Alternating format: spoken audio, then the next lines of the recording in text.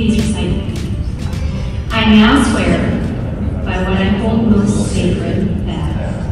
I will conduct myself with personal and academic integrity and exhibit respect toward my fellow students, instructors, and all those involved in my education, as I learn the skills and values